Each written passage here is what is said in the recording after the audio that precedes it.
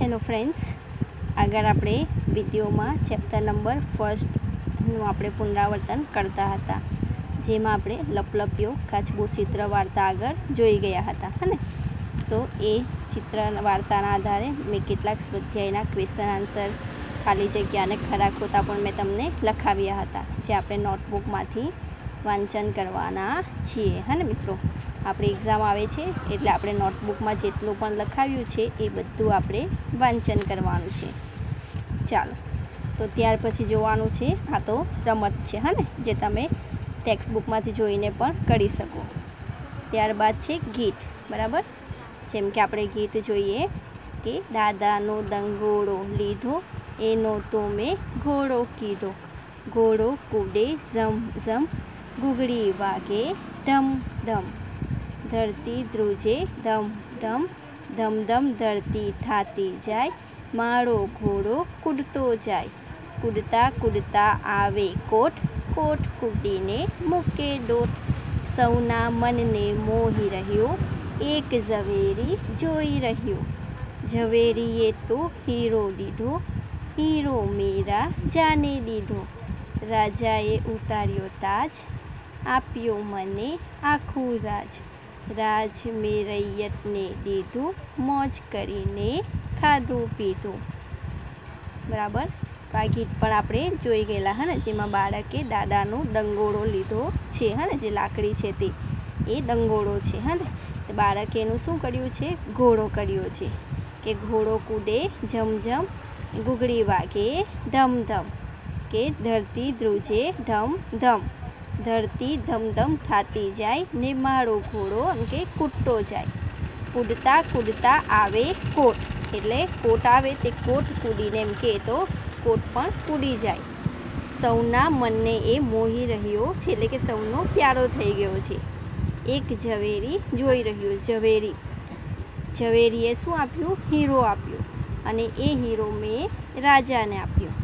રાજાએ ઉતાર્યો તાજ, એટલે કે રાજાએ માથા પરથી તાજ ઉતાર્યો અને મને આખું રાજ આપ્યું. ત્યારબાદ રાજ આપ્યું એ મેં રૈયતને દીધું અને ત્યારબાદ મેં મોજ કરીને ખાધું પીધું. તો આ ગીતના પણ મિત્રો, આપણે ક્વેશ્ચન આન્સર ખાલી જગ્યાઓ મેં તમને લખાવી છે નોટબુકમાં. તે નોટબુકમાંથી તમારે આ ગીતના ક્વેશ્ચન આન્સર ખાલી જગ્યા મોઢે કરવાની રહેશે. બરાબર? ચાલો. ત્યારબાદ જોઈએ જોડકણા આપ્યું છે, હા ને? તો એ જોડકણા આપેલા છે. તે જોડકણા તમે તમારી જાતે પણ ટેક્સ્ટબુકમાંથી તમે વાંચી શકો, હા તો આપણે જે ફર્સ્ટ ચેપ્ટરનું જેટલું પણ જોયું છે, એના દરેક ટોપિક વાઇઝ મેં ક્વેશ્ચન આન્સર ખાલી જગ્યાને ખરા ખોટા લખાવ્યા છે. તો જે તમારે નોટબુકમાંથી વાંચન કરવાનું રહેશે. હવે મિત્રો જઈએ ચેપ્ટર નંબર ટુ જે કયું છે? ટેહુક ટેહુક હૂક હૂક બરાબર? જે આપણે આગળ બી એનું રિવિઝન કરી ગયેલા હતા. તેમાં ગીત છે, મારો છે, મોર. તો એ ગીત આપણે ગાઈ ગયા હતા, હા ને? એ મારો છે, મોર, મારો છે, મોર. મોતી ચડતો મારો છે, મોર.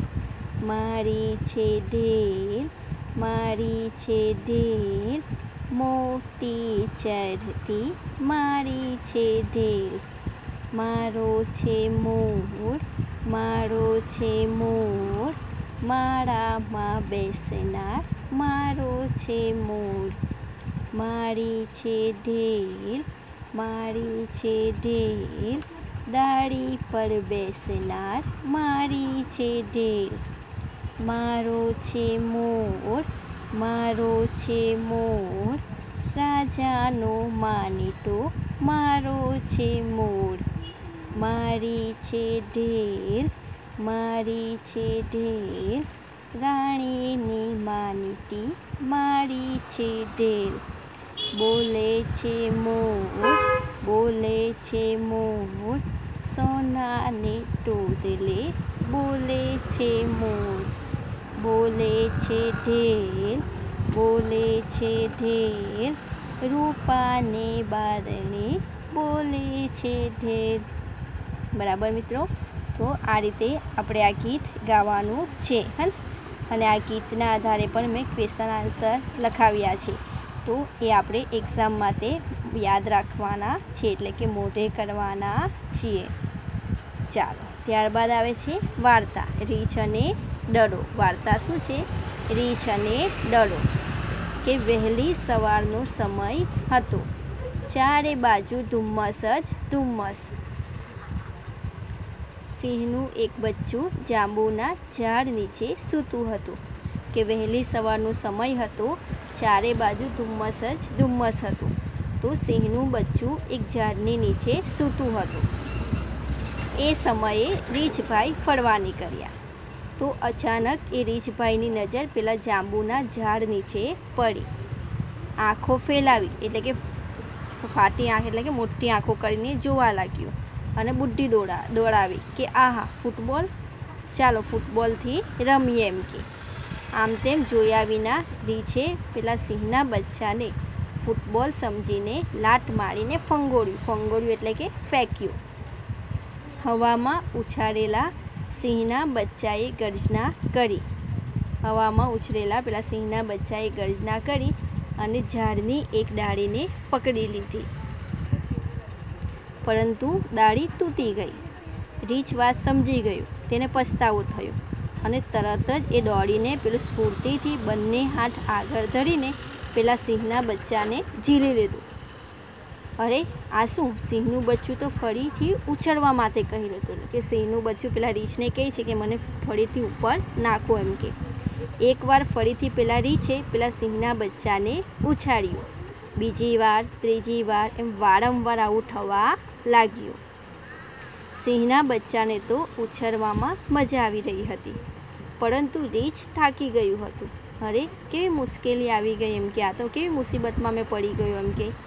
બારમી વખત ઉછાળીને રીછે ઘર બાજુ દોટ લગાવી કે બારમી વખત એને ઉછાળીને રીછે તો એના ઘર તરફ દોડવા માંડ્યું અને અદૃશ્ય થઈ ગયું એટલે કે દેખાવા માંડ્યું નહીં. તો આ વખતે સિંહનું બચ્ચું નીચે પડ્યું, હા ને? કારણ કે એને ઝીલવા માટે ઉઠતું જ નહીં રીછ. એટલે સિંહનું બચ્ચુંને ફેંક્યું, એટલે સિંહનું બચ્ચું નીચે પડ્યું. ધડામ દઈને નીચે પડ્યું. બરાબર? ચાલો. ત્યારબાદ જોઈએ જોડકણા હા ને કે ચોરી કરવા ચાલ્યા ચોર, સોની પોળમાં થાતો સોર. સિપાહી મળ્યા સામાં, મમ્મીના ભાઈ તે મામા. મામા લાવે છુક છુક ગાડી, બાને માતે લાવે સાડી. સાડીના રંગ પાકા પપ્પાના ભાઈ તે કાકા.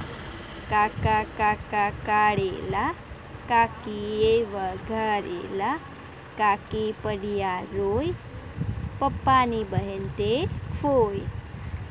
ફોય ફૂલડા લાવે છે, ફુવાને વધાવે છે, ફુવા ગયા કાશી, મમ્મીના બહેન તે માસી. બરાબર મિત્રો? તો આ રીતે તમારે પણ આ જોડકણા ટેક્સ્ટ બુકમાંથી ગાવાના છે. ચાલો, ત્યારબાદ જોઈએ અભિનય ગીત આવે છે કે મારી બકરી બોલે બે બે બે. એ તો સાંજ સવારે દૂધ જ દે. મારી બકરી બોલે બે બે બે. પેલો ઉંદર બોલે છું છું છું કહે, રાત તણો હું રાજા છું. ઉંદર શું કહે? કે હું રાતનો રાજા કહેવાઉં છું. મારી બકરી બોલે બે બે બે. પેલી બિલ્લી બોલે મ્યાઉ મ્યાઉ મ્યાઉ. બિલાડી કેવું બોલે? મ્યાઉ મ્યાઉ. કહે, રાત તણી હું રાણી છું. બિલાડી શું કહે? કે, રાતના હું રાણી જેવી છું, એમ કે મારી બકરી બોલે બે બે બે. પેલો વાંદરો બોલે હુક હૂપ હૂપ. વાંદરો કેવું બોલે, હું હૂપ એને સિંગ ચણા તો ભાવે ખૂબ. વાંદરાને શું બહુ ભાવે? સિંગ ચણા બહુ ભાવે. મારી બકરી બોલે બે બે બે. પેલો કૂતરો બોલે હાવ હાવ હાવ કૂતરો કેવું બોલે? હાવ હાવ હાવ કરીને બોલે છે. રોટલો આપો તો ખાઉં ખાઉં ખાઉં કે પેલા કૂતરાને હું રોટલો આપું તો એ ખાઉ ખાઉં કરે. મારી બકરી બોલે, બે બે બે. તો અહીં આ ગીતમાં જો પ્રાણીઓના નામ આપ્યા છે, હા ને? અને એ પ્રાણીઓના અવાજો અવાજો, એ પ્રાણીઓ કેવો અવાજ કરે છે એ પણ આપણને અહીં બતાવ્યું છે. તો આ ગીત કોણે લખ્યું છે? પૂનમચંદ શાહ. કોણે લખ્યું છે મિત્રો? પૂનમચંદ શાહ. બરાબર?